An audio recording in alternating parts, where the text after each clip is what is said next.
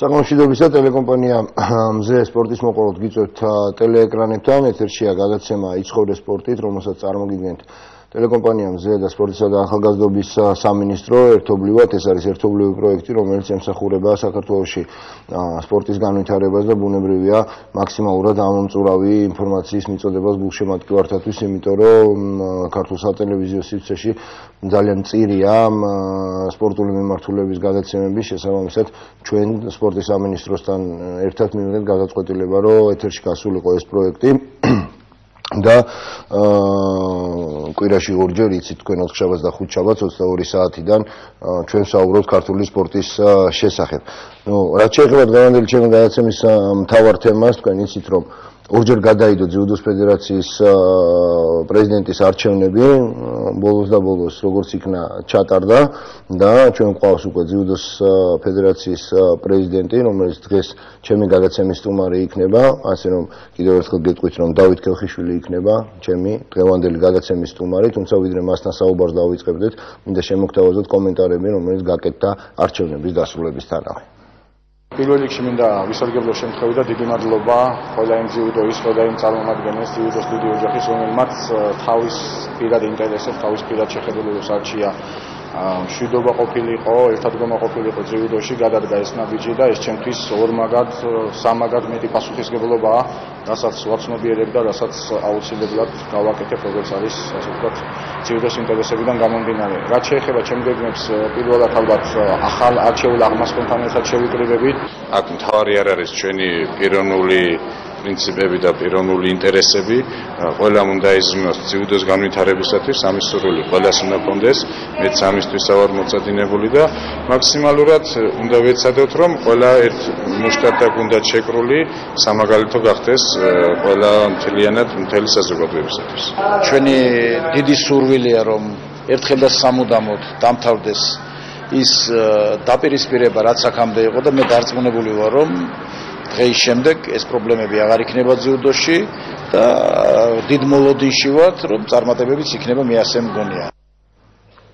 აქვე შეგახსენებთ ტელეფონის ნომერს 221-21-31 შეგიძლიათ დაუკავშირდეთ და დასვათ ნებისმიერი კითხვა ძიუდოს განვითარებასთან დაკავშირებით გამომდინარე იქიდან რომ ჩვენი დღევანდელი გადაცემის თავარი თემა იქნება სწორედ ძიუდო და კიდევ ერთხელ გეტყვით რომ ჩვენთან სტუდიაში იმყოფება ძიუდოს ფედერაციის პრეზიდენტი დავით კელხიშვილი დავით დიდი მადლობა გადაცემაში მონაწილეობისათვის გილოცავ პირველ ყოვლისა ფედერაციის პრეზიდენტობას, იმიტომ რომ ვიცი რომ ერთხმათ იყო ყველაფერი არჩეული და დაესვა როგორც იქნა საბოლოო ჯამში წერტილი, იმიტომ რომ ძალიან გაწვალდა ქართული სპორტის გულშემატკივარი ძიუდოს საერთოდ ძიუდოში მიმდინარე მოვლენებისგან გამომდინარე და ამაზე ჩვენ დეტალურად ვისაუბრეთ. პირველი რაც მინდა კითხო გუნდი რომლითაც მოხვალ და რომლითაც დაიწყებ შენ საქმიანობას იმისათვის რომ სპორტის ამ სახეობამ, სახეობამ რომელიც ძალიან ხშირად ახარებდა ქართულ გულშემატკივარს წარმატებებით, ისევ დაიბრუნოს ის ძველი დიდება და სახელი. პირველ რიგში მოგესალმებით, დიდი მადლობა მოწვევისთვის, მიესალმები თქვენს მაყურებელს. რაც შეეხება შეკითხვას, თქვენ მართალი ბრძანდებით, იყო გარკვეული პრობლემები. მრავალი ასე ვთქვათ, შეხვედრის მრავალი მსჯელობის შემდეგ გადაწყდა, რომ ის რაც დღეს გვაქვს ფაქტიურად მე გავხდი პრეზიდენტი შესაბამისად ეს ჩემთვის არის დიდი პატივი და დიდი პასუხისგებლობა გუნდი აუცილებლად იქნება შერჩეული პროფესიონალური კუთხით, ობიექტურად, შესაბამისად ყველას ექნება საშუალება რომ იქნეს ჩართული, თუმცა ამ შემთხვევაში მე მაქვს რა თქმა უნდა უპირატესი უფლება რომ წარვადგინო პირველ რიგში ის ხალხი, რომელთან ერთადაც მიმაჩნია რომ ამ პრობლემებს რეალურად რაც იყო აქამდე, რაც შეიძლება იქნას მომავალში, გადავჭრით მაქსიმალურად სწრაფად, მაქსიმალურად ოპერატიულად. აა რაც შეეხება გუნდს, მე უკვე ყრილობაზე დავაყენე, ასე ვთქვათ, პირველი ვიცე-პრეზიდენტის კანდიდატურა გახლავთ მამუკა ყიზილაშვილი, რომელიც ერთხმად იყო მხარდაჭერილი. იგი არის ძალიან ნიჭიერი ახალგაზრდა, აქვს გარკვეული გამოცდილება ძიუდოში, თლიანად ძიუდოს სამყარო ამ პიროვნებას თითქმის იცნობს. გარკვეულწილად მუშაობდა, ასე ვთქვათ, ძიუდოში, ძიუდოს ფედერაციაში ტექნიკური უზრუნველყოფის თვალსაზრისით ხედელობაში მას კომპიუტერი უზრუნველყოფა, ასე რომ ამ კუთხით მე ვფიქრობ ძალიან კარგ კანდიდატზე შევარჩიე ჩემი ასე ვთქვათ არჩევანი რაც შეეხება ორ ვიცე-პრეზიდენტს ამასთან დაკავშირებით მე ვითხოვე უბრალოდ დრო, რომ სწორედ იქიდან გამომდინარე რომ შევარჩიო მაქსიმალურად პროფესიონალურად და მაქსიმალურად კარგად და აუცილებლად იქნება გენერალური მდივანი, რომელსაც ფიქრობთ, რომ თქვათ უპრეცედენტოდ ამ შემთხვევაში ძიუდოს ისტორიაში ჩვენ შეიძლება გავაკეთოთ ასე ვთქვათ კონკურსის წესით და მოხდეს შერჩევა ამ თანამდებობაზე ადამიანის, რომელიც არ არის აუცილებლად ჩემი აზრით იყოს აუცილებლად ძიუდოისტი, ეს უნდა გახლდეთ ძალიან კარგი მენეჯერი, ურთიერთობა შეეძლოს როგორც ძიუდოისტებთან, ძიუდო სამყაროსთან, ასევე საზოგადოებასთან და რა თქმა უნდა საერთაშორისო ურთიერთობის კუთხით. აი ამ კუთხით წავალთ და წლის ბოლომდე ალბათ ჩვენ ფაქტიურად დავაკომპლექტებთ იმ ჯგუფს, იმ ბიუტს, რომელიც მომავალში ჩაუდგება ძიუდოს საწოლში. შესაბამისად, როცა უკვე ცნობილი იქნება ეს ვიცე-პრეზიდენტები, ალბათ ფუნქციების გადანაწილებაც უკვე თქვენი მხრიდან შემდეგ მოხდება უკვე. ფუნქციების გადანაწილება მე მეტნაკლებად ჩამოყალიბებული ვარ იმ სისტემაზე, თუ როგორ მოხდება ამ ფუნქციების გადანაწილება. შემდგომში ერთი ვიცე-პრეზიდენტი აუცილებლად იქნება მიმაგრებული ნაკრებ გუნდთან. ხედელობაში მაქვს რომ ის აუცილებლად ერთ-ერთი ვიცე-პრეზიდენტი აუცილებლად იქნება ძიუდოისტი. თავისი შინაარსით იქნება ძალიან კარგი მწვრთნელი სამავე დროს და შეძლებს ამ ფუნქციის განხორციელებას. მას უნდა სპორტული სპორტული მიმართულება, მას პირდაპირ არ დაევალება ამ ფუნქციის შესრულება, თუმცა უკვე ნაკრების ხელმძღვანელობასთან ერთად ფაქტიურად ტანდემში იქნება მათთან ერთად და ნაკრების თავაცმეს არ დასჭირდება ასე ვთქვათ ამ იმ პრობლემებზე ასე ზრუნვა, რაც არის თქვათ მწვნელობის იკითხებელობაში მაქვს საბუთების მოგვარება იქნება თუ ურთიერთობა. უშუალოდ ეს პიროვნება განახორციელებს ამ ყველაფერს და იქნება შუამავალი. თქვათ ფედერაციის პრეზიდენტი იქნება თუ სხვა აღმასრულებელ გოლთან ერთად ნაკრების გუნდში ანუ ძალიან შესაბამისად ძალიან მნიშვნელოვანი და საფასუხისმგებლო ფუნქციები დაეკისრებათ. მათ, იმიტომ რომ პრაქტიკულად მთავარი რგოლი უნდა იყვნენ იმ ჯარში, რომელსაც წარმოადგენს ამ შემთხვევაში ძიუდოს ფედერაცია და საერთოდ ძიუდო ჩვენს ქვეყანაში. ეს ვფიქრობ, რომ ის ფუნქცია რეალურად რაც უნდა კონდეს ვიცე-პრეზიდენტს, ჩვენ უნდა მივცეთ, და არა მარტო ვიცე-პრეზიდენტს, ნებისმიერ ადამიანს ფედერაციაში ჩვენ უნდა შეუქმნათ ისეთი საშუალება, რომ ისეთი სიტუაცია, რომ მუშაობა მათთვის გახდეს საინტერესო. რაოდენ გასოკვირიც არ უნდა იყოს მიუხედავად იმისა, რომ ძიუდოს ფედერაცია უკანასკნელი წლების განმავლობაში დასახელებული იქნა, ვთქვათ, ევროპის საუკეთესო ფედერაციად, საქართველოსში ხშირ შემთხვევაში ძიუდოისტები იყვნენ წლის საუკეთესო სპორტსმენები, თავად ფედერაციაც იქნა რამოდენიმეჯერ დასახელებული. ამ კუთხით ფაქტიურად ძალიან მოიგვაჭრებთ არანაირი სისტემა, არანაირი მიდგომა, განაწილება ამ ფუნქციის რეალურად არ ყოფილა. აქ თავის დროზე ფედერაცია ასრულებდა მხოლოდ გამტარ ფუნქციას სამინისტროსა და ნაკრებს შორის. ერთადერთი, რითაც იყო ფედერაცია დაკავებული, იყო ის, რომ ის სახსლები და ის თანხები, რომელიც მოდიოდა სამინისტროდან, ან სხვა, კი ბატონო, მიმართული იყო მხოლოდ და მხოლოდ ერთი კუთხით. ნაკრები გუნდის, ასე ვთქვათ, მომზადების და მათი მივლინების და მხოლოდ ამ ფუნქციით იყო შემოფარგლული. ბუნებრივია ეს უნიშნულოვანესი ფუნქცია და ჩვენი მხრივაც ეს იქნება მთავარი პრიორიტეტი, მაგრამ მეორე მხრივ ფედერაცია როგორც ასეთი ცალკე ორგანიზმი, რომელიც უნდა ყოფილიყო ძლიერი, რომელსაც უნდა კონდეს თავისი შესაძლებლობა, რომ არ იყოს დამოკიდებული მხოლოდ სამინისტროზე, ან ოლიმპიურ კომიტეტზე, ან ცალკე რაღაც დონორებზე, გრანტებზე და თავისი თვითონ შექმნას ასევე რაღაც პროდუქტი. დიახ. ამ კუთხით არ ყოფილა არასდროს მუშაობა და ჩვენ ვაპირებთ სწორედ ამის განხორციელება. აა 2:21:21 შეგიძლიათ დავგავშდეთ მიიღოთ მონაწილეობა ჩვენს გადაცემაში ჩვენ საუბრობთ ძიუდოს შესახებ და თუ აუცილებლად უნდა კითხო მე მინდა ამ თემაზე ვისაუბრო მით უმეტეს ახლა შენ სულ რამდენიმე დღეა ძიუდოს ფედერაციის პრეზიდენტი ხარ და პირველი კომენტარი რაც გააკეთე, გააკეთე ის, რომ ის უთანხმოება, რომელიც არსებობდა სპორტის ამსახიობაში, ну, მოდი დავარქვათ, ძიუდოს ოჯახში, ეს უნდა აღმოიფხვრას და ეს უნდა დასრულდეს. ეცე ცოტა საწყენია იმ კუთხით თვითონ, მე რისი თქმა მინდა, რომ როდესაც ყველაფერი მეტნაკლებად დაალაგებული იყო ყოველ შემთხვევაში ამდენი სკანდალი რაც ძიუდოში მოხდა ბოლო პერიოდში მთელი ძალიან დიდი ხნის განმავლობაში არ ყოფილა თუ საერთოდ იყო როდესმე ამიტომ ჩვენ ყოველდღე ოლიმპიური ჩემპიონები, სოფლიო ჩემპიონები, ევროპის ჩემპიონები, გუნდური თასი და ასე შემდეგ და ასე შემდეგ. აა საბოლოო ჯამში მივედით იქამდე რომ მოხდა რაღაცა გაურკვევლობა, რასაც მიება ძალიან ბევრი არასასიამოვნო ინციდენტი მათ შორის მუშტიკრივამდე მისვლა და ასე შემდეგ და ასე შემდეგ. მე უბრალოდ მინდა კითხო, შენ იმ პერიოდში იყავი, როცა ეს ყველაფერი დაიწყო, აქტიური სპორტსმენი, ხო? რა რატომ მოხდა? ეს ყველაფერი და რატომ აინდა-მაინც ძიუდოში? სპორტის იმ სახეობაში, სადაც სადაც ერთი შეხედვით აბსოლუტურად ყველაფერი დაალაგებულია. იმ პერიოდში, როდესაც თქვათ ეს კონფლიქტი დაიწყო, მე გახლდით კანადაში უშუალოდ და შესაბამისად ჩემ მე თავიდანვე არ ყოფილიო ამ პროცესში აქტიურად ჩართული, თუმცა მომიწია ჩამოსვლა და შესაბამისად ამ პროცესის მონაწილეც გავხდი, მაგრამ მე უფრო შორიდან დავიწყე. რეალურად პრობლემები ყოველთვის არსებობდა და ეს დაპირისპირება ყოველთვის იყო. დაპირისპირება მე მომობ ჯანსაღი კონკურენცია აზრის, როდესაც თქვა ერთხალის გააჩნია თავისი მეორეს თავისი და შესაბამისად ხდება მათ შორის რაღაც საუბარი, მწვავეს, დიალოგის ფორმატში თუ რა ვიცი, ნებისმიერ ამის პრეცედენტები მანამდე იყო უბრალოდ ეს არ იყო საზოგადოებისთვის ცნობილი და ეს ძალიან კარგი იყო რომ არ იყო. ჩვენ მქონდა გარკვეულწილად რაღაცა კულტურა ამისი რომ შიგნით უშუალოდ ამოჯახშიდან არ გამოგეტა. კი ბატონო, თუმცა დროთა განმავლობაში შესაბამისად, რა ვიცი, ალბათ დაგროვდა ის რაც შიგნით ვერ გადაწყდა, ვერ გადაწყდა გარკვეული მიზეზების გამო მე მესმის რომ თქვენ გაინტერესებთ კითხვა, კითხვაზე პასუხი კონკრეტულად რა იყო ამის მიზეზი, მაგრამ ცალსახად ერთი მხარის ან მეორე მხარის მიზეზი აქ რეალურად არ ყოფილა.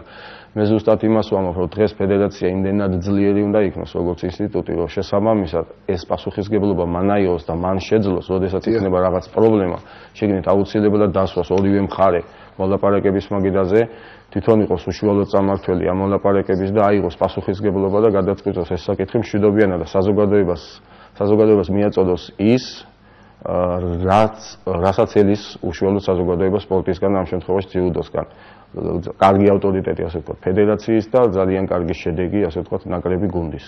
ხოლო ამ კუთხით უნდა იქნეს ასე ვთქვათ საზოგადოება დაინტერესებული და არა იმიტომ დღეს ფაქტობრივად პოპულარულიც გახდა და ყველა საინტერესებს რა ხდება ყველა მეტნაკლებად ასე ვთქვათ დაინტერესებულია, მაგრამ ვფიქრობ დაინტერესება სხვა კუთხით უნდა იყოს ამ შემთხვევაში ფედერაციამ ძალიან დიდი როლი უნდა შეასრულოს. კი ბატონო, აბსოლუტურად გეთანხმები და არჩევნების მერე თქვენ უნდა იყოთ იმის გარანტი, რომ მსგავსი ინციდენტები სპორტის ამსახეობაში აღარ მოხდება. რაც შეეხება ინტერესს, მე აბსოლუტურად გეთანხმებით, იმიტომ რომ ეს იყო სპორტის ერთ-ერთი ის სახეობა, სადაც ჩვენ ძალიან განებივრებული ვიყავით წარმატებებით და პრაქტიკულად არ ყოფილა არც ერთი არც მასშტაბური და არც თქვა ნებისმიერი საერთაშორისო ტურნირი, საიდანაც ჩვენ უმედლოდ ჩამოსულიყავით. ამიტომ ბუნებრივია ეს ყველაფერი. შესაბამისად, მე ძალიან ბევრი შემხედრია ვთქვათ იგივე ფორუმებზე იმაზე, როდის უნდა დასრულდეს, უბრალოდ გულშემატკივრის გულის ტკივილია, სხვა არაფერი, როდის უნდა დასრულდეს. მე პირიქით მივესალმები ამას. პირიქით მივესალმები, არათუ უფლება აქვს, ვალდებულებიც არიან ჟურნალისტები მით უმეტეს, რომ ეს პოზიცია დაიჭირონ და ფაქტიურად ერთ-ერთი გამსვანზღვრელი შეიძლება ის რომ დღეს ეს პრობლემა მოგვარდა, თქვათ თქვენი აქტიულობა, ჟურნალისტების აქტიულობა, საზოგადოების აქტიულობა. მე უბრალოდ სულვილი გამოთქვი, რომ ჩვენ უნდა მივაწოდოთ და დავაინტერესოთ ეს ხალხი იმ კუთხით, რომ რამდენად ვთქვათ ჩართულები იქნებიან იმაში, რომ განვითარდეს ეს სპორტის სახეობა, რომ უფრო მეტი შედეგი იყოს და რა იმ კუთხით, რომ ვთქვათ ეს ენერგია დაიხარჯოს სხვა მიმართულებით და არა მიმართულებით. ჩვენი პრობლემაა, რომ ჩვენ ასე უნდა მოვაგვაროთ ეს ურთიერთობა შეგნით, რომ ეს ხალხი სხვა რამე დავაინტერესოთ და სხვანაირად ჩავთოთ ჩვენთან ერთად ძიუდოს განვითარებაში. ეგეთი რაღაც შედეგია მარტო. კი. შედეგი კარგი გამოსვლა და შესაბამისად მედლები. კი ბატონო, მაგრამ აქამდე კვაკლდა. კი, რა თქმა უნდა. თუმცა პრობლემა იყო, სწორედ ამიტომ ამბობ, ფედერაციას უმნიშვნელოვანესი როლი ეკისრება, რომ ძირშივე თავიდანვე ეს პრობლემა მოაგვაროს. კარგი, კი ბატონო, მე რახან ბოლოს ბოლოსკენ უნდა დამესვა ეს შეკითხვა ჩვენი საუბრის, მაგრამ რახან თქვენ თავად გაუსვით ხაზი ჟურნალისტებთან ჟურნალისტების თემას, მე აუცილებლად მინდა გითხრათ, რომ ჩემი ძალიან ბევრი კოლეგა არის და მეგობარი ამ შემთხვევაში არის განაცხენებული იმ ფაქტთან დაკავშირებით, რომ პრაქტიკულად მათ არ მიეცათ საშუალება, თქვა თუნდაც რამდენიმე წუთი დასწრებოდნენ და ყრილობას და შესაბამისად გაცნობოდნენ საქმის ვითარებას, მათ მოუწიათ ფოიეში დგომა. ეს მე უბრალოდ არა მარტო ძიუდოს ფედერაციაზე ვამბობ და თო ამ სხვა ფედერაციებისთვისაც მინდა რომ ეს მაგალითი იყოს, იმიტომ რომ ჟურნალისტი რომელიც აშუქებს ამა თუ იმ სპორტის სახეობას, ალბათ თუ კარგად და მათ თქვა დადებით უარყოფით შედეგებს ნებისმიერ შემთხვევაში ძალიან მნიშვნელოვანი ადამიანები არიან. იგივე თქვენი საქმის გაშუქება მე ამ შემთხვევაში არ მოგმართა თქვენ როგორც კონკრეტულად ძიუდოს საერთოდ ლაპარაკობს რომ მინდა სხვა ფედერაციებმაც იცოდნენ ეს ყველაფერი რომ ამ ეს ადამიანები მუშაობენ იმისთვის რომ სპორტის ამა თუ იმ სახეობამ იპოვოს განვითარება და უფრო პოპულარული გახდეს. ამიტომ მე ვფიქრობ რომ თქვენი მხრიდანაც მაქსიმალურად ხელშეწყობა უნდა იყოს. ამით იმის კითხვა მინდა რომ როგორ აპირებთ თქვათ მედიასთან ურთიერთობას. ძალიან მნიშვნელოვანი ძალიან მნიშვნელოვანი სფერო, ასე ვთქვათ, ძალიან მნიშვნელოვანი საკითხი ამ შემთხვევაში ფედერაციის მედიასთან ურთიერთობა, საზოგადოებასთან ურთიერთობა. ეს არა მარტო მათთვის არის საზოგადოებისთვის საინტერესო, არამედ ჩვენთვისაც საინტერესოა ჩვენი თითოეული კომენტარი, ჩვენი თითოეული გამოსვლა, ჩვენი თითოეული საუბარი მათთან პირდაპირ პროპორციულადაა დამოკიდებული და იქნება იმაზე, თუ რამდენად იქნება დაინტერესებული ზოგადად საზოგადოება ძიუდოთი. ხედელობაში მაქვს რამდენად უფრო მეტი ახალი კადრი, ახალი ბავშვი შევა, თქვა ძიუდო სექციაზე. ჩვენასაც მივაძვდით ანალოგიურად ყველა შეხედავს, ყველა ნახავს და აქედან გამომდინარე ირჩევს, თქვა შეიყვანოს ძიუდოზე, შეიყვანოს სხვა სპორტის სახეობაზე. სწორედ ამიტომ ეს უნიშნულოვანესი მომენტი იქნება ჩვენთვის. ამის გამო ფაქტიურად მე მაქვს გარკვეული მონახაზი და გარკვეული საუბრები, კონსულტაციები უკვე მქონდა, რომ ჩვენ ალბათ შევქმნით საზოგადოებასთან ურთიერთობის ცალკე ჯგუფს, ძიუდოს ფედერაციაში სამსახურს. რომელიც იზრუნებს ამ ყველაფერზე, რომელიც იქნება მაქსიმალურად გამჭვირვალე, რომელიც ყოველ დეტალს თითოეულ ნაბიჯს აუცილებლად გამოიტანს სამშაბლოზე, ის რაც რა თქმა უნდა გამოსატანია, ის რაც რა თქმა უნდა მისაწოდებელია, ასე ვთქვათ, საზოგადოებისთვის ამ ამ ხრივ ჟურნალისტები იქნებიან მაქსიმალურად ინფორმირებული.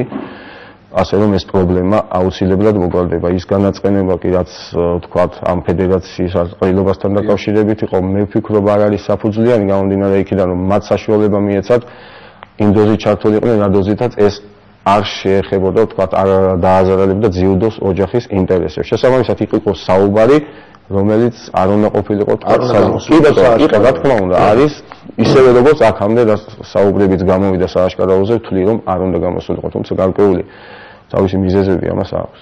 კი ბატონო, კარგი, კეთილი. მე მინდა კითხოთ აუცილებლად რა დაგხვდათ დღეს და პირველი და უმთავრესი გეგმა გარდა იმისა, რომ დაესვას წერტილი და მე ვფიქრობ, რომ იმ არჩევნების მერე ამ მithmamotkmებს, სკანდალებს და არასასიამოვნო სიტუაციებს ძიუდოს სამყაროში დაესვა წერტილი. ამიტომ ამაზე ყურადღებას აღარ გავამახვილებ. მოდი გადავიდეთ პირდაპირ საქმეზე, რა დაგხვდათ წინა ფედერაციიდან და პირველი ნაბიჯი რითიც თქვენ დაიწყეთ მუშაობას. Ну დაგვდა ის რომ თუ ორ მხარეს შევეხებით მეორე მხარეს რომელიც მე ვფიქრობ რომ უნდა განვითარდეს ჯუდოს ფედერაცია როგორც მყარი ძლიერი ორგანიზმი ხო ამ კუთხით ფაქტიურად არაფერი არ არის დღეს გაკეთებული. მე მხედველობაში მაქვს ის რომ გარდა რამოდენიმე კომპიუტერის ავეჯის და რამოდენიმე კომპლექტი დატამის ჩვენ ფაქტიურად საკუთრებაში არაფერი არ გაგვაჩნია მიუხედავად იმისა, რომ თავის ძროზე პომპეზურობით გადმოგვეცა ეს დარბაზი საცნელი კომპლექსი და თითქოს აქ იყო ძიუდოს აკადემია იქნებოდა და ასე ვთქვათ, ის იქნებოდა კერა, სადაც გაიზრდებოდნენ. ვაკეში ხო თუ არა? არა, დილღომში. კი ბატონო. ეს მინდა განვაცხადო, ეს ჩვენი საკუთრება არა, ეს იჯარით არის ეს მერიისგან ვიღებთ და შესაბამისად ქირას იხდის სპორტის სამინისტრო. ანუ ჩემთვის გასაუბრებელი იყო, როდესაც მივედი და თქვა ვიკითხე რა გვაქვს და აი ამის გარდა რაც ჩამოთვალე ჩვენ საკუთრებაში ფედერაციას მიუხედავად ამ 10 წლეულობისა ჩვენ არაფერი არ გაგვაჩნია ამ კუთხით. ნუ ეხლა მეორეს მხრივ falsafad იმაზე ხაზგასმა რომ თითქოს აქამდე არაფერი გაკეთებულა, ესე არ იქნება ჩემი მხრიდან ობიექტური შეფასება, გაკეთდა, მაგრამ ამას ეკლდა სისტემური ხასიათი. ეს იყო ყველაფერი გაკეთებული უფრო კეთილი ნების ისევე როგორც ყველა სფეროში და არა ასე ვთქვათ იქიდან გამომდინარე რომ ამას ისეთ სისტემური ხასიათი მისცემდა რომ ვთქვათ დღეს ერთი ხელისუფალია ან მეორე ან დღეს ერთი რაღაც კომპანია გვეხმარება ან მეორე. ეს იყო დამოკიდებული თვითონ პიროვნებაზე და არა იმაზე რომ ვთქვათ ვიღაცისთვის ძიუდო საინტერესო იყო და თვითონაც გარკვეულ სარგებელს ნახავდა ამაში რომ დაგხმარებოდა ან რაღაც გაეკეთებინა ამიტომ ვთვლი რომ თვითონ ძიუდო ფედერაცია უნდა იყოს ისეთი ძლიერი, იმდენად სასურველი ყველასთვის, რომ არ იყოს დამოკიდებული თითოეულ პიროვნებაზე, რაოდენ პოპულარულიც არ უნდა იყოს ის, მისი ასე ვთქვათ განვითარება ფინანსური კუთხით იქნება, შემდეგ ის მატერიალ-ტექნიკური ბაზით აღჭურვით თუ რაღაც.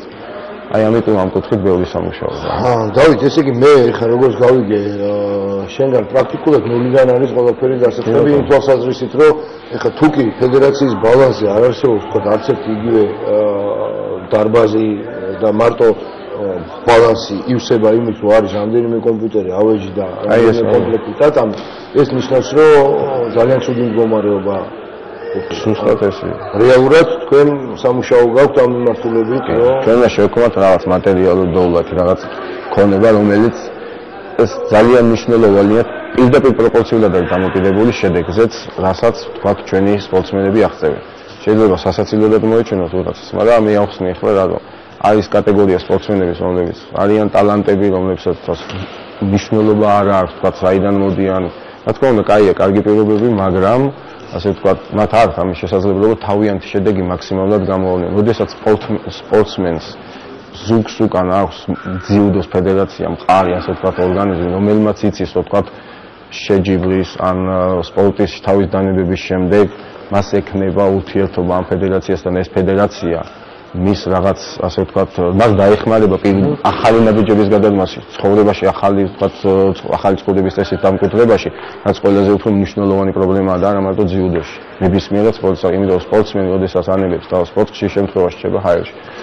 ამ შემთხვევაში თუ კი ფედერაცია არ იქნება ძლიერი, თავად სამინისტრო, ცალკე აღებული, ცალკე აღებული ოლიმპიური კომიტეტი ან სხვა რომელიღაც ორგანო ხო ამას ვერ გააკეთებს. ანუ ფედერაციას უნდა ქონდეს ამის საშუალება როგორც მინიმუმ პირველ ეტაპზე მაინც ხელი შეუწყოს რაღაც მატერიალურად უზრუნველყოს ან ქონდეს რაღაც ბაზა ისეთი ცალკე დამოუკიდებელი სადაც შეიძლება ამის დასაქმება.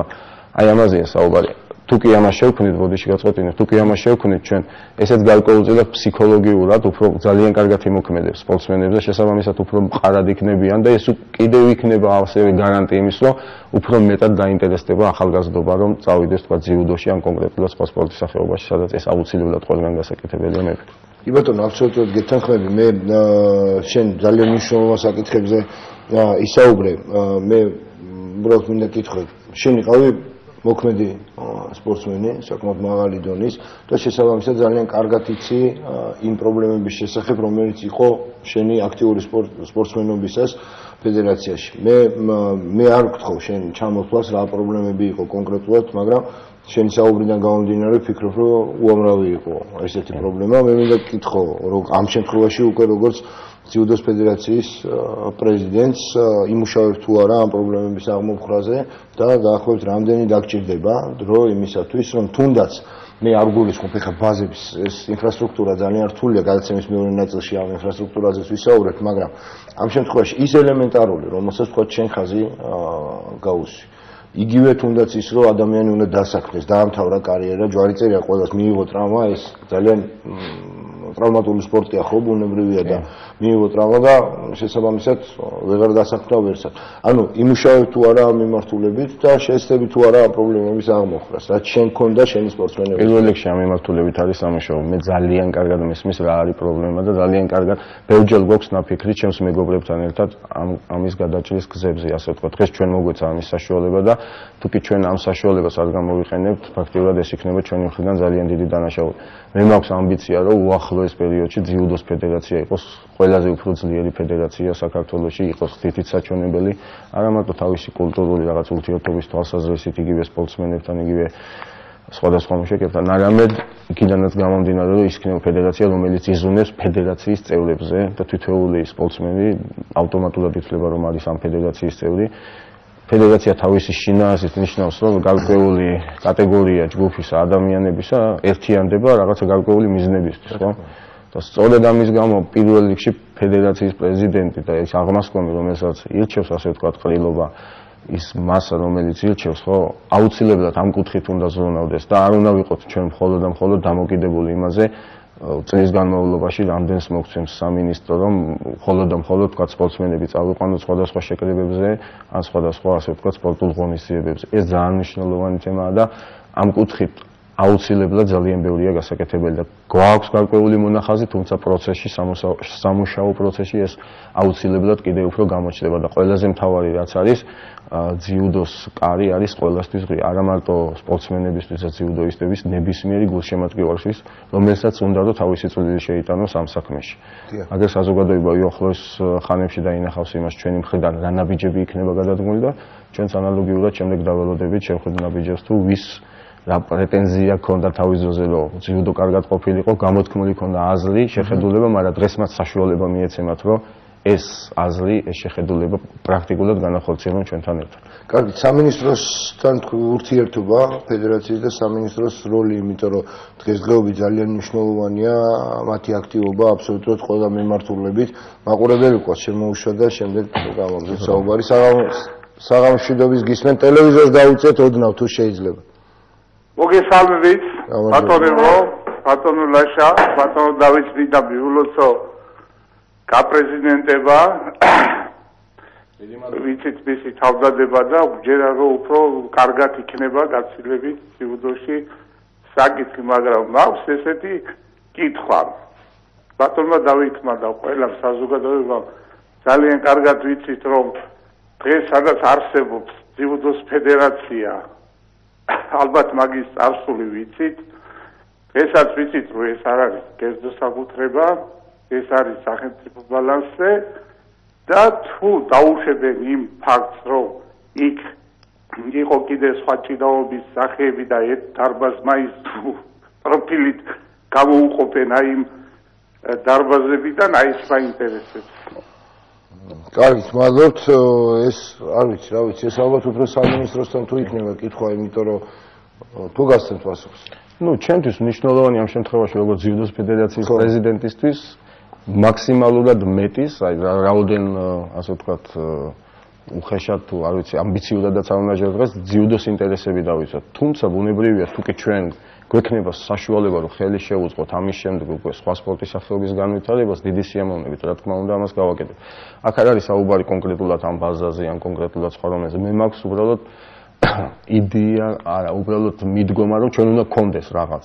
ამაზე ჩაულებრივი მომენტია აბსოლუტურად და ამაზე მე ვთვლი რომ საერთოდ ჯუდოს აქამდეც უნდა ქონოდა. მე უბრალოდ შეინთხმის არ იყოს მახლა მე არ ვიცოდი რომ თუ იჯარით იჯარით იყო აღებული ეს დაბა კარგი ჩვენ შევჩერდით სამინისტროს როლზე და მათთან ურთიერთობაზე და მე ვფიქრობ რომ დღეს სამინისტრო მომისწილი უნდა შეიტანოს არა მარტო ძიუდოს დღეს ისეთი სიტუაცია გვაქვს ჩვენ სამწუხაროდ სპორტში შექმნილი სამინისტროს დახმარების გარეშე ძალიან რთული იქნება რა იმას გაკეთება გეთანხმებით მე უფრო მეცას რომ თავად ამ პროცესების მოგვარების საკითხში ამ პრობლემის მოგვარების საკითხში სამინისტრომ უკვე ძალიან დიდი წვლილი შეიტანა.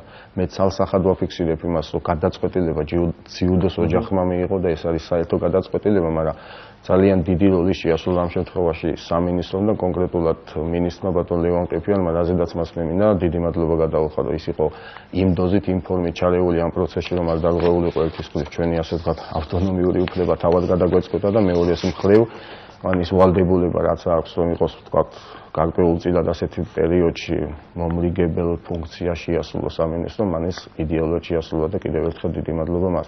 რაც შეეხება დამოკიდებულებას როგორი იქნება აქტიურად დღეს ჩვენ თლიანად სამინისტროზე ვართ დამოკიდებული. და თლიანად სამინისტროს განფინანსებით თავარია რომ ჩვენის მხრივ ეს ფინანსები იქნეს სწორად მიმართული. აი უშუალოდ კოორდინირებული მუშაობა ამ შემთხვევაში გამოიწვევს იმ შედეგს რაზეც საუბრობდი მე რომ სამინისტროს ამ შემთხვევაში უფრო დახმარება ის უფრო საფუძვლიანი იქნება უფრო მყარი იქნება მომავალში შევძლოთ რომ თლიანად მასზე კი არ ვიყოთ დამოკიდებული ჩვენი მხრივაც შევქნათ რაღაცა და გარკვეულწილად ჩვენ თავს ჩვენ თვითონაც მივხედოთ. კარგი, ვიდრე რეკლამაზე გავა მე აუცილებლად მინდა კითხოთ ათო თუ კონდათ რაიმე კონსულტაციები ბიუჯეტთან დაკავშირებით. აა და თუ იქნება კიდევ რაღაც მუშა შეხვედრები ამ მიმართულებით. აა ასე ვთქვათ, ჩემს გაპრეზიდენტებამდე ფედერაციის იყო უკვე საუბარი ამასთან დაკავშირებით გარკვეულწილად მიეწოდათ პროექტი ბიუჯეტის თუმცა ეს ისეთი თემა რომ თავად მომავალ წელსაც შეიძლება ამაზე საუბარი მხედველობაში მაგას არის მოქნილი ასე ვთქვათ სისტემა ამ კუთხით კოლექტივების შეტანა შეიძლება ზოგადად საუბარი უკვე იყო ჩემი მხრივაც ვაგრძელებ ამაზე მუშაობას და დაიხოცება ეს დროთა განმავლობაში დღეს რაც არის გასაკეთებელი და დასადებილი ვთქვათ ამის ფარგლებში იქნება მეტწილად ბიუჯეტი ამაზე საუბარი უკვე არის უკვე შემდგომში კონკრეტულად რა მიმართულებით წავა ეს სამუშაო პროცესში გამოჩნდება კიდევ ერთი მაყურებელი ყო საღამოშიდობის გისმენთ. გამარჯობა ბატონებო. გამარჯობა. მე ბატონ დავითთან მაქვს ასეთი კითხვა. მაინტერესებს საერთოდ რამდენი ჯუდოს დარბაზია საქართველოში, სადაც შეიძლება ნორმალურად ივარჯიშოს ადამიანმა. გარდა მაგისა, რამ მდგომარეობაშია ეს ჯუდოს დარბაზები? გარდა მაგისა, რამდენი ადამიანი ვარჯიშობს ჯუდოში? დიდიან, პატარიანად და ხალხ თუ არა კვალიფიციური მწვრთნელები. გმადლობთ. ძალიან დიდი მადლობა დავით ამ ამ თემებთან დაკავშირებით მეც სურდა საუბარი ბუნებრივია და ამის გარეშე აქედან ვერ გაგიშვებდი ვერანაირად უბრალოდ შევისვენოთ მცირე ხნით და მაყურებელსაც ვეთქვი რომ მცირე სარეკლამო პაუზის შემდეგ თქვენს მიერ დასმულ ყველა კითხვაზე იქნება პასუხი გაცემული ასე რომ სულ 2 წუთით შევისვენოთ და შემდეგ განვაგრძელოთ საუბარი დავით ქეხიშვილთან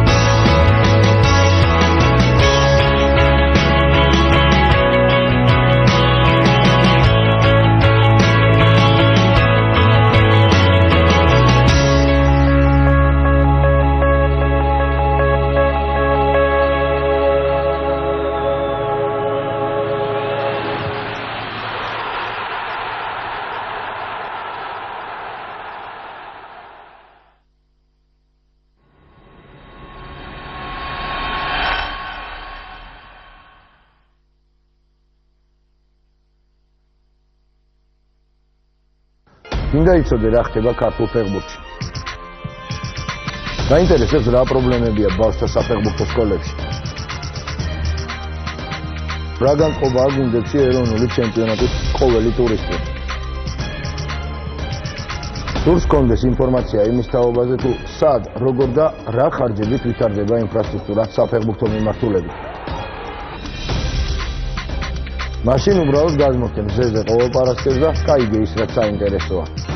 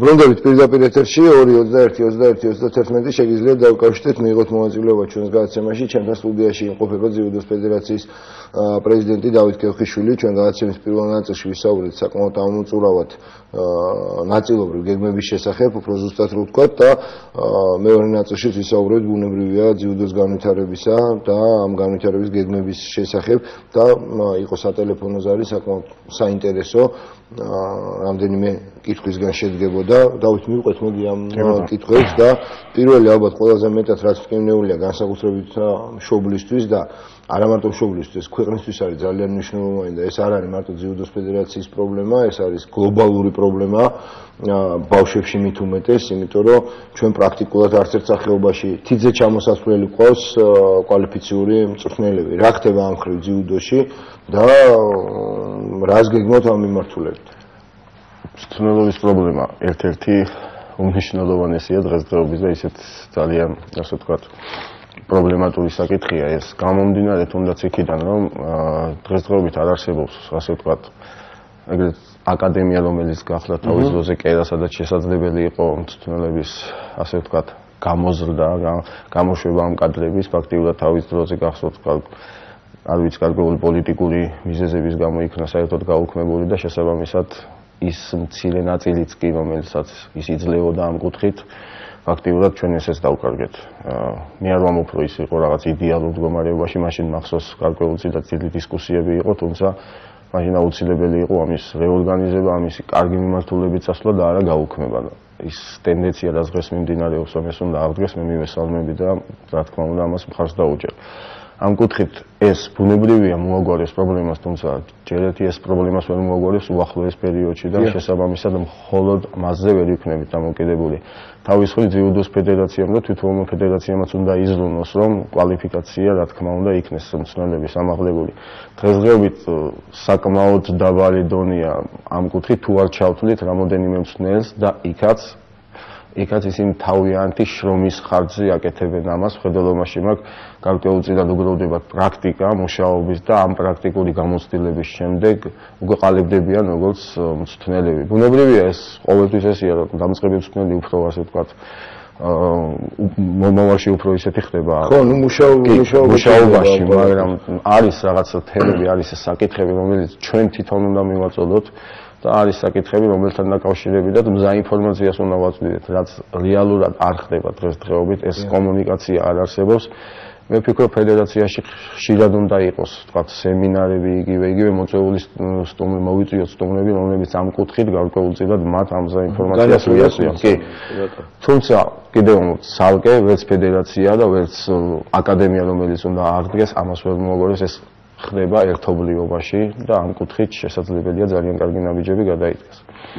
რაც შეეხება ინფრასტრუქტურას, ხო, ჩვენ მაყურებელი ყოს კიდევ ერთი და შემდეგ გადავიდეთ მაგ თემაზე. საღამოშიდობის გისმენთ. საღამოშიდობის გისმენთ ტელევიზორს დაუწიოთ ოდნავ თუ შეიძლება. ალო. დიახ, გისმენთ ტელევიზორს დაუწიოთ ოდნავ თუ შეიძლება. აა ბატონაშა მოგესალმებით. საღამოშიდო. მივესალმები თქვენ. თქვენ თუმარს მივესალმები ბატონ დავით მივესალმები. მიულოცავ კაპრეზიდენტებას და მის პატიოსნებაში არავის ეჭვი არ აბარება, როგორც წარმატებული სპორტსმენი იყო, ასევე იქნება წარმატებული პრეზიდენტი და მე ერთი კითხვა მაქვს ბატონ დავითთან. მაინტერესებს დღეს როცა რადიკალურად შეიცვალა ძიუდოს წესები თითქმის მთლიანად ამოიღეს ფეხში შესვლები. მოხრილი ჭიდაობა. აი როგორი თანამშრომლობს ქართულ ჭიდაობასთან? ის რომ ის სადაც ჩვენი გოზრია იყო და არის ყოველთვის. კარგი დიდი მადლობა. ჯერ გავცეთ ამ კითხვის პასუხი. კი ბატონო ხო ხო ხო რა თქმა უნდა. ჩემთვის ქართული ჭიდაობა ძალიან ასე ვთქვათ მნიშვნელოვანია და ის ელემენტები რაც ქართულ ჭიდაობაში რომ გამოყენებული იქნას ძიუდოში. თავად მეც თავის დროზე ამ სტეზე ჭიდაობდი ჩემი ძალიან ბევრი მეგობარი და ამის უგულებელყოფა დანაშაულის თოლფასია. ჩვენ ეს უნდა ავიღოთ ის ძალიან კარგი რაც გვაქვს ქართულში დაობაში და რა თქმა უნდა იაპონური სტილიდანაც ასე ვთქვათ შეუხამოთ და მხოლოდ ამის აი ასეთი ფორმით შეიძლება მით უმეტეს დღეს წარმატების მიღწევა ამ კუთხით. ეს აუცილებლად მოხდება არა თუ ვითანამშრომლებთ, არამედ აქცენტი გვექნება ამაზე გაკეთებული აუცილებლად. კი ბატონო, მოდი გადავიდეთ ინფრასტრუქტურული მიმართულებით. ნუ პრაქტიკულად ჩვენ თქვით, რომ არანაირი ობიექტი დღეს ძიუდოს ფედერაციის ბალანსზე სამწუხაროდ არ არსებობს საერთოდ, სადაც შეიძლება რომ თქვა რომ აი აქ მხოლოდ ძიუდოისტები ვარჯიშობენ. პლუს ამას მე აუცილებლად მინდა მიმართულებით დათო გავაერთიანო რეგიონები, იმიტომ რომ იქ გაცილებით უფრო რთული ვითარებაა ვიდრე თბილისში და თქვა დიდ ქალაქებში. რეგიონებთან, რა თქმა უნდა, უფრო რთულად არის სიტუაცია.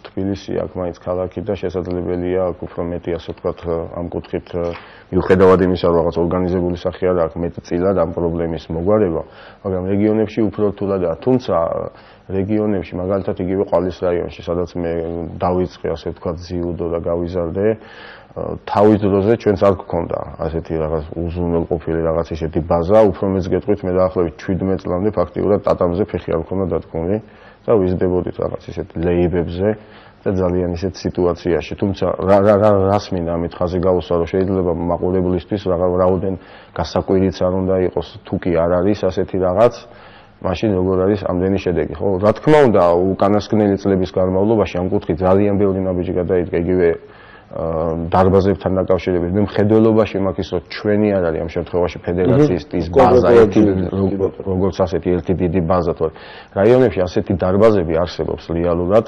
აა რა თქმა უნდა, მეტნაკლებად ინფრასტრუქტურა მოწყობილია და ჩვენი მხრივ უნდა ჩავთოთ ადგილობრივი ხელისუფლება ამ კუთხით, რომ დაგვეხმაროთ თითოეულმა რაიონმა, რომ თავ გარკვეულწილად კონკურენტულარიანი უნდა შევქნათ ეს სფერო, ასე ვთქვათ, რაიონებს შორის, რომ საინტერესო გახდეს თვითონ ადგილობრივი ხელისუფლებისთვისაც, რაც უფრო მეტად, ასე ვთქვათ, წარმატებული სპორტსმენი იყოლება თავისი რაიონიდან. აი, ამ კუთხითაც უნდა ვიმუშაოთ აუცილებლად. რეალურად დღესდღეობით არსებობს თქვა იგივე ახმედაშევიცი, იგივე დავად ყვარელში, იგივე საგარეჯო იქნება თუ მაგალითად კახეთის კახეთის გულისხმობის ხელმძღვანელობაში, იგივე გორშიც ვიცი რომ არის ძალიან კარგი ასე ვთქვათ დარბაზი. არსებობს რეალურად, მაგრამ ამას უნდა აუცილებლად გარკვეულწილად რაღაც სისტემაში მოქცევა და რა თქმა უნდა მიხედო და უფრო განვითარება რა მე ეს ამოხდება. ძალიან კარგი, არა, ეს აუცილებელიც არის, იმიტომ რომ სხვაგვარად უბრალოდ არაფერი არ გამოვა და არც ის ხ მე ვიცი ძალიან ბევრ სპორტსმენთან, მით უმეტეს შენ თავის სპორტსმენებთან ძალიან ბევრთან ქონია ესეთი უშუალო საუბარი და შესაბამისად ვიცი ის პერიოდი, რომ გაყინულ დარბაზებში ვარჯიშობდნენ და რამაზ ნოზაძე ყვებოდა, ну, მის ისტორიიდან გამომდინარე, რომ ლეიბი იყო გაყინულიო, იმდენად ციო და დარბაშიო და ვიცი, ანუ რეალურად მე და ძალიან ბევრი მაიცის, რაც გაქვს გამოვლილი, თქვათ, იმ სპორტსმენებს, რომლებმაც წარმატებას მიაღწიეთ. ბავშვებზე მინდა აუცილებლად კითხო, იმიტომ რომ ეს ადამიანები არის ის იმ თაობის წარმომადგენლები, რომლებმაც რეალურად უნდა თაობათა ცვლის პროცესი პროცესში ჩაანაცვლო დღევანდელი ძიუდოისტები და შესაბამისად მოგვიტანონ ჩვენი ის წარმატებები, რაც აქამდე ქონდა. როგორც თბილისში, ასევე რეგიონებში ეს მაინტერესებს უბრალოდ როგორ მიმდინარეობს ეს საცნობი პროცესები და რამდენად როგორია ინტერესი თქვათ სპორტის ამსახიობის მიმართ. ინტერესი სპორტის სამსახეობის მიმართ არის ძალიან დიდი, თუმცა შეიძლება ეს გარკვეულ პერიოდებად დავყოთ, თქვათ, მაშინ, როდესაც გახდა სულაზვია დაური. მოგეხსენებათ, ოლიმპიური ჩემპიონი, უდიდესი ნაკადი მოაწყდა, თქვათ, ამ სფეროს და მანაც ძალიან დიდი პოპულარიზაცია გაუწია.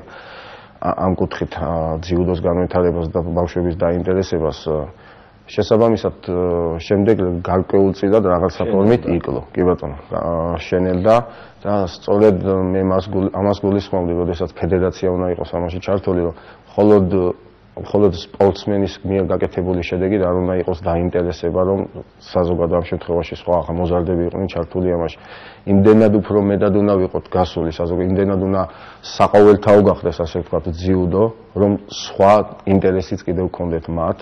რომ ამ კუთხით თქვა ჩაერთმა შეიძლება ყველა ვერ გამოვიდეს დიდი სპორტსმენი, მაგრამ ჩვენთვის მნიშვნელოვანია რაც უფრო მეტი ახალგაზრდა ამ კუთხით ჩაერთება და გარკვეულწილად ჩვენ ამაზე ძალიან ბევრი უნდა ვიმუშაოთ. რაც შეეხება უშუალოდ დღეს არსებულ სიტუაციას, ფიქრობ საკმარისი კონტინგენტია დღეს დაინტერესებული ამ სფეროთი. აა თანხა რომელსაც დღეს ისიხდიან თქვა იმაში რომ მივაგიშონ ის დაახლოებით 20-დან 25 ლარამდე, როგორც მე ვიცი, სხვადასხვა ასე ვთქვათ დარბაზებში სხვადასხვა მემხედველობაში მაქვს თბილისში და არა რეგიონებში. რეგიონებთან დაკავშირებით სიმართლე გითხრათ ზუსტი ინფორმაცია არ მაქვს.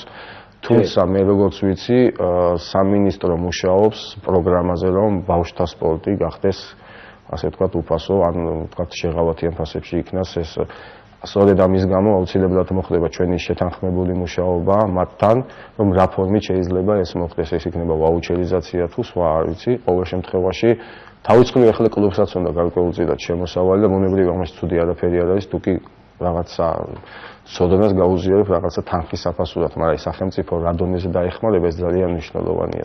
მხოლოდ ჩვენ ამას ვერ გავხდით, ასე ვთქვათ, უფასოს და ვერანაირად ვერ შევძლებთ ამას ძალგე ჩვენი ძალებით გაკეთებას. კი ბატონო, კიდევ ერთი მაყურებელი ყო საღამოშიდობის გისმენთ. მოგესალმებით. მე არანაირი კითხვა არ გამოჩნია ძიუდოსთან დაკავშირებით, მაგრამ მინდა რომ აი ბატონი დათოსნაირი, დავითსნაირი მერთმა უმრავლეს საქართველოს ესეთი წესიერი და პატიოსანი ადამიანები.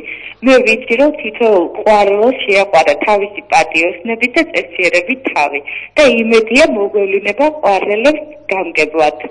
დიდი მადლობა. ეხლა გადავალთ კალბატონო ზუსტად მაგ თემაზე სულ რამდენიმე წუთში. ჯერ ჯერ კიდევ არა. კარგი, კიდევ ერთხელ დიდი მადლობა 221 21 21 შეგიძლიათ დავკავშირდეთ მიიღოთ მონაწილეობა ჩვენს გადაცემაში და თუ აუცილებლად მინდა ჩვენ აუცილებლად მოგვიწევს გარკვეული პერიოდის შემდეგ უმრავლოდ მე არ ვიცი შეიძლება 3 3 თვის 4 თვის შემდეგ დავსწრეთ ისე ვისაუბრო თქვა რა ეტაპი გაიარე რა გაკეთდა და როგორ გაკეთდა ხა მე მაგალითად ბედნიერი ვიქნებოდი რომ საქართველოსში სპორტის არც ერთ სახეობაში მაგალითად ბავშვი თანხას არ იხდიდეს რა და ძალიან დიდი იმედი მაქვს რომ ჩვენ ცხოვრებაში ეს მოხდება და მოესწრება ყოველ შემთხვევაში, იმიტომ რომ ძალიან რთულია რა იმ სიტუაციაში, როცა პლუს კიდე რაღაც დამატებითი ხარჯი გაქვს. იქ ინვენტარისთვის ცალკე, გადასახადი ცალკე, პლუს უამრავი პრობლემაა, ხშირ ჩემზე უკეთიცი ხო, როგორც არის და რანაირად სამწუხაროდ დღეს მაგრამ ძალიან დიდი იმედი მაქვს რომ არა მარტო ძიუდო ის იქნება ფეხბურთის, კალათბურთის, რაგბის და აბსოლუტურად ყველა სახეობა რაღაცნაირად უნდა მოხდეს ისე რომ ბავშვები განთავისუფლდნენ ამ გადასახაიდან. ამაზე ვისაუბრეთ ჩვენ უკვე გარკვეული პერიოდის შემდეგ. ეხლა მე მინდა აუცილებლად კითხო ნაკრებთან დაკავშირებით და ნუ ირაკლი ცილეკიძე ერთ-ერთი კანდიდატი იყო რომელმაც დააყენა თავის კანდიდატურა პრეზიდენტობაზე შემდეგ ყველა ვიცით როგორ განვითარდა ამ მოვლენები მოხსნა ეს კანდიდატურა მაგრამ თავის კომენტარში მან აღნიშნა, რომ შენს ხელშია, ანუ მისი დატოვება არ დატოვების საკითხი, ანუ რეალურად გადასაწყვეტია შენი და აღმასკომის. როგორ იქნება თუ გაქვს რაიმე მონახაზი ამ მიმართულებით? ну, რაც შეეხება ირაკლი ცირიკიძეს, მე ვთქვი დღესდღეობით თუ კი ვინმე შეუძლია გააკეთოს ეს საქმე, ერთ-ერთ ერთადერთი თუ არა ერთ-ერთი პირველი აუცილებლად ეს ადამიანია მე მას ვიცი რომ ძალიან დიდი ხანი ჩემი ერთ-ერთი უახლოესი მეგობარი გახლავთ, ვიცი მისი შესაძლებლობები იგი არის საუკეთესო ძიუდოისტი თავისი შედეგით საქართველოს ისტორიაში და ის პერიოდი რაც მან თქვა გაიარა ახლა ამ მოკლე ხანში სპელოვასთან დაკავშირებით ფიქრობ ნორმალურად, კარგად რაღაც საფუძვლიანად, ყოველ შემთხვევაში მე და ინფორმაციაც მაქვს, გამომდინარე იქიდან რომ ამ პერიოდის განმავლობაში მე უფრო სხვა კუთხით ვიყავი დაკავებული, შესაბამისად არ მქონია მაინც და მაინც რაღაც დეტალური ინფორმაციის მიღების საშუალება, მე ვიცი ეს პიროვნება და ვიცი რომ ამ სფეროშიც ასევე წარმატებული იქნება ხელდელობაში მაგ როგორც წვნელი, ისევე წარმატებული როგორც იყო მაგალითად როგორც სპორტსმენი.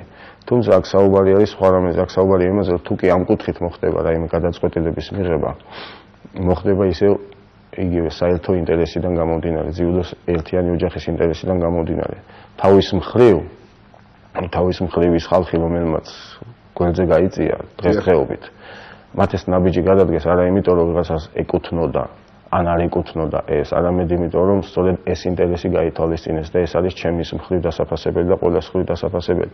შესაბამისად, ნებისმიერია და აქ არ არის კვალიფიკაცია საუბარი. იგივე თითოეული მათგანი, შოთა ხაბარელიდან დაწყებული, თემურ ხობულური, იგივე ირაკლი ცირიკიძე, როგორც ასე ვთქვათ, კანდიდატი პრეზიდენტობის და მეოთხე დავით ხახალეიშვილი თვითონ მაგანს უდიდესი წვლილი აქვს ძიუდოს ამაზე საუბარი ფაქტიურად ჩვენი მხრიდან ზედმეტი იქნება.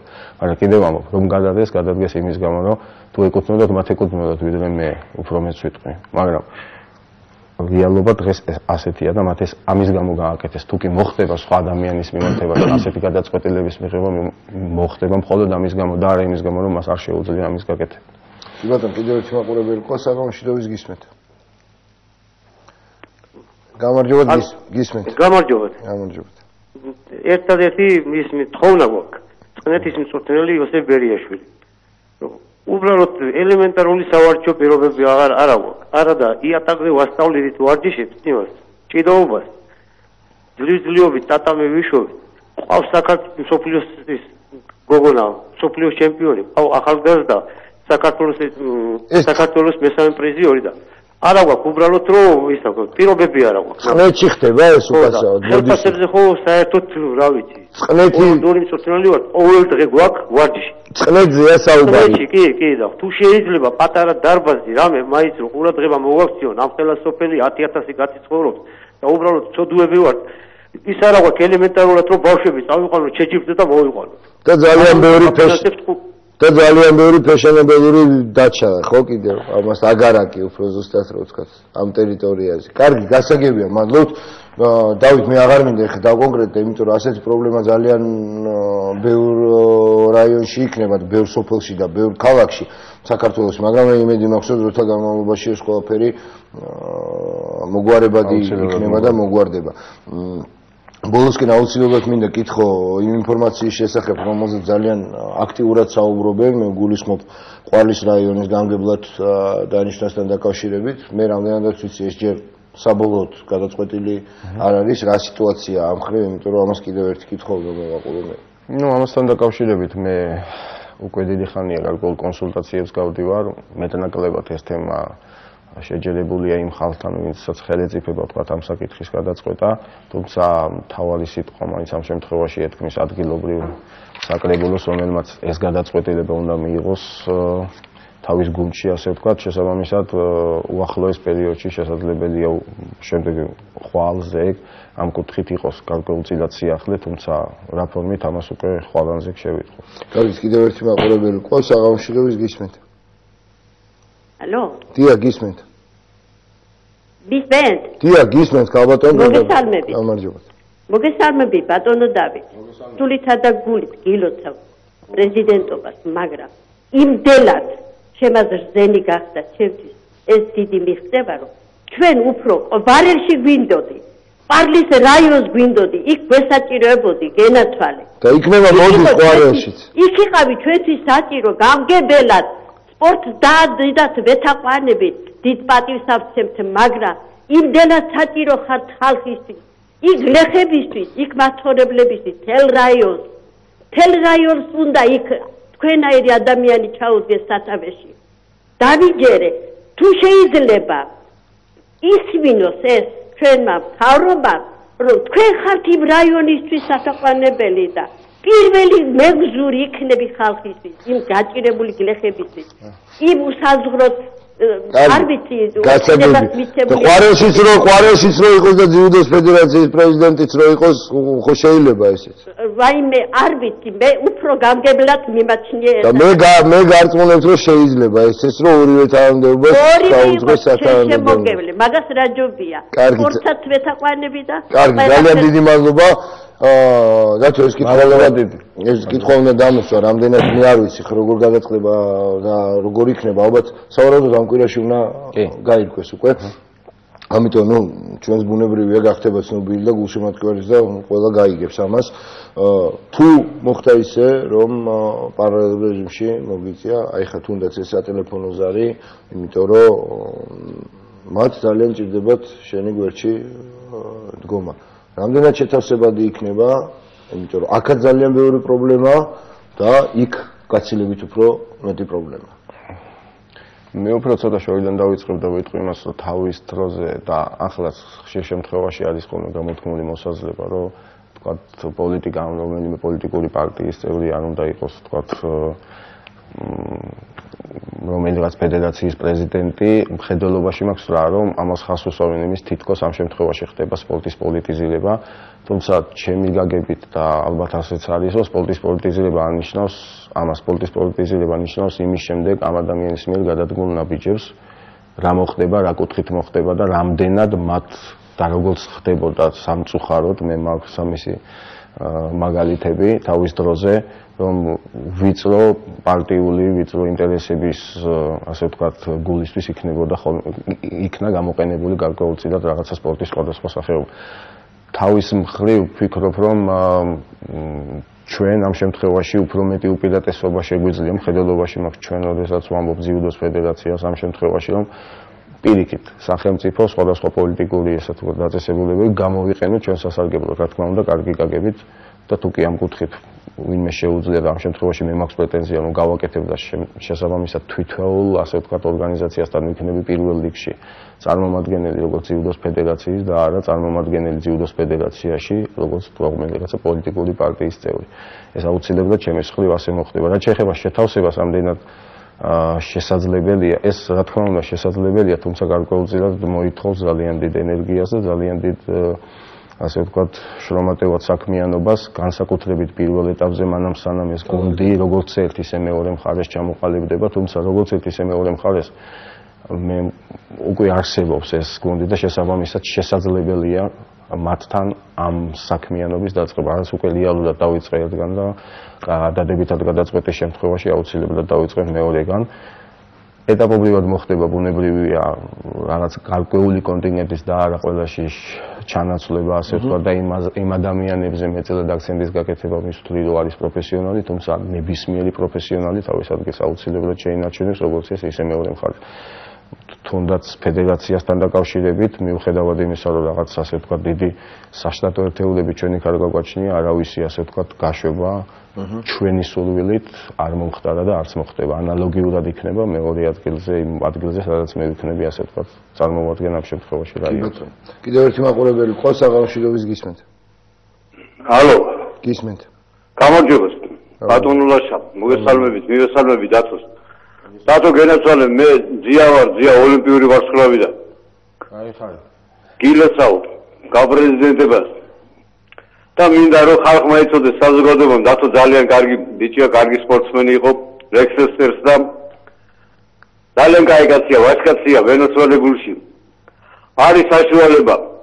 აი ესეთი ხალხი უნდა მოვიდნენ ესეთი წინვალი ახალგაზრდები ესეთი კარგი ადამიანები სპორტში ჩაუდგნენ მიხედონ გააკეთონ სწორი გზით იარო დაგლოცავთ შენი კუნესამე შენ განაცვალე მაგარი კაცი ხარ მომილოცია ბედნიერი იყავს კარგი დიდი მადლობა. და დავით ჩვენი გადაცემის და საუბრის ბოლოს მე აუცილებლად უნდა კითხო ვეტერანებთან დაკავშირებით იმიტომ რომ ძალიან ხშირად ესეც სამწუხაროდ ჩვენ ქვეყანაში ისე ხდება რომ ამ ადამიანების მიერ გაწეული შრომა, ღვაწლი, იგივე შეტანილი წვლილი სპორტის ამა თუ იმ სახეობის განვითარებაში მოდი ხა რეალურად თქვა და შენც იცი ჩემზე უკეთ რომ ისე არ ფასდება როგორც უნდა დაფასდეს მე მინდა კითხო კონკრეტულად თქვენ შენ თუ გეგმავ რამეს აი ძიუდოს ვეტერანებთან დაკავშირებით თუ იქნება მე არ ვიცი რაღაცა ღონისძიებები მათ მიმართ თუნდაც იმიტომ რომ რაღაც გარკვეულწილად გაუხალისოთ ამ ადამიანებს ცხოვრება და აბსოლუტურად ყველაფერი რა თქმა უნდა ეს უნიშნულოვანესი ნაწილი არის და უნდა იყოს ჩვენი საქმიანობის მაგრამ სწორედ ამაზე ვსაუბრობდი მანამ სანამ ძიუდოს ფედერაცია არ იქნება ასე ვთქვათ წელში გამართული ჩვენ ამ კუთხით ვერაფერს ფაქტიურად ვერ გავაკეთებთ მიუხედავად იმისა ეს გვინდა თუ არ გვინდა ამაზე არ იქნება დამოკიდებული. თუ შეიძლება ძალიან დიდი სულვილის კონდეს მაგრამ გამომდინარე იქიდან არ კონდეს საშუალება ამ კუთხით ვერ წავალ სწორედ ამიტომ უნდა ვიმუშაოთ, რომ გავძლიერდეთ, სწორედ ამიტომ უნდა ვიმუშაოთ, რომ თითოეულ მათგანს გველში ამოვდგეთ, არა მაშინ, როდესაც თქვა აქტიურ სპორტშია და გარკვეულ წარმატებებს წარმატებების მომტანია ქვეყნისთვის და მაშინ დაუკრათ მხოლოდ წაში, როდესაც ამას აკეთებს, არამედ ამის შემდეგ, როდესაც უკვე სხვა ეტაპზე გადადის ცხოვრების, როდესაც ანებებს ვარ და განსაკუთრებით, როდესაც უკვე ხანში შესულები არიან, მაშინ უნდათ მათ გველში დგომა და ამ კუთხით აუცილებლად ჩვენ გავაკეთებთ ძალიან ბევრს. კარგი, ძალიან დიდი მადლობა საინტერესო საუბრისთვის. მე მინდა კიდევ ერთხელ მოგიოცო და წარმატება გისურვო ჯერ ამ ეტაპზე როგორც ძიუდოს ფედერაციის პრეზიდენტი და რაც შეეხება ყვარელს, ყვარელზე შემდეგ უდნა მოგვიანებით როცა უკვე დადასტურდება ეს ინფორმაცია კიდევ ერთხელ წარმატებას გისურვებ. მე კი შეგახსენებთ რომ ჩემი ლევანდელი გადაცემის სტუმარი იყო ძიუდოს ფედერაციის პრეზიდენტი დავით ქეხიშვილი. მე ვფიქრობ რომ საკმაოდ საინტერესო საუბარი გამოვიდა და შესაბამისად მაყურებელზე შტაბეშილება ძალიან კარგი დატოვა ფედერაციის ახალგარჩეულმა პრეზიდენტმა ჩემთვის განკუთვნილი დრო დღეს ამოიწურა მე ხვალ შეხვდებით თქვენ ასევე 22 საათიდან ტელეკომპანია მზის ეთერში და შევეშთებით ისეთივე საინტერესო გადაცემა შემოგთავაზოთ და საინტერესო რესპონდენტი როგორც დღეს ასე რომ კიდევ ერთხელ დიდი მადლობა ყურადღებისთვის და ხვალამდე გემშვიდობით. კარგად გრძანდებოდეთ